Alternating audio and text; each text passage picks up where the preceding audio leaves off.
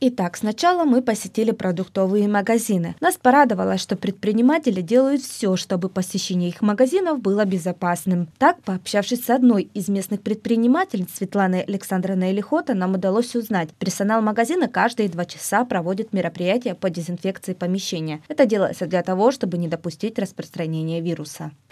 Мы используем меры, ну, для начала э, нельзя в магазине, чтобы было большое скопление людей. Повесили таблички на двери, чтобы в магазине было не более трех покупателей. Некоторых это раздражает, некоторые с этим соглашаются.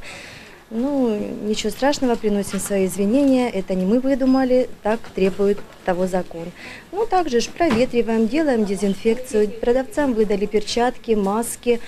Каждые два часа дезинфицируем, полы моем. Утром, утро начинается с 8 утра. Каждому меряем температуру работнику. Если температура завышенная, вдруг у нас такого не случалось, мы всех предупредили, что на работу могут не приходить, если повышенная температура.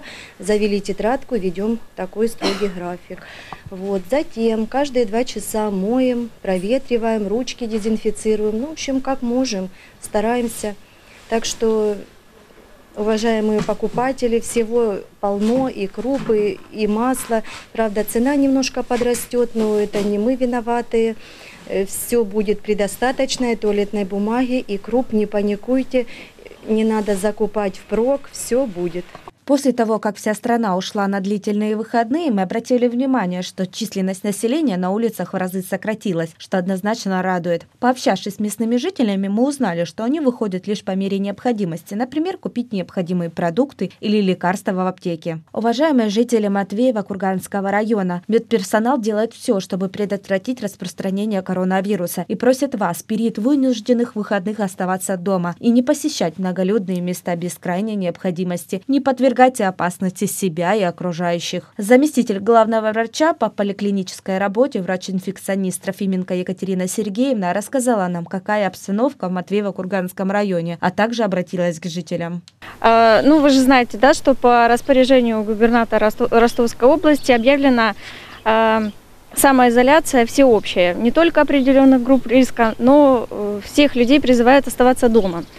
Э, в нашем районе случаев коронавирусной, новой коронавирусной инфекции не зарегистрировано. Есть люди, которые возвращаются с неблагополучных стран, которых мы наблюдаем. И вот э, э, они находятся на самоизоляции в течение 14 дней, выполняют все предписанными, предписанные им э, инструкции.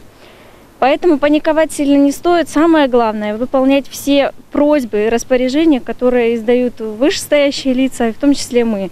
Мы призываем не приходить лишний раз э, просто так прогуляться в какие-либо людные места, в том числе в ЦРБ.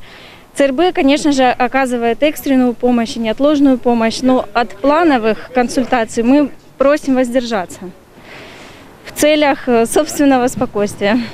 Случае, если вы почувствовали недомогание, высокая температура, кашель, незамедлительно обратитесь к врачу, вызвав скорую медицинскую помощь. Не забудьте сообщить о ваших симптомах и посещали ли вы территории с неблагоприятной эпидемиологической обстановкой. Будьте здоровы!